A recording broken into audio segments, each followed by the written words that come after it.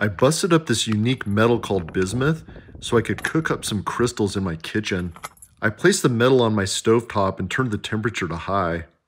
The bismuth quickly melted into this big liquid mirror. To enhance crystal formation, I turned the temperature to low, and when the top had solidified, I punched a hole in it and poured the liquid core out. What resulted was a big homemade geode with a hollow core. I broke off pieces of crystal, and these things are awesome. Check them out. They were all sorts of colors, ranging from yellow to gold to blue and green.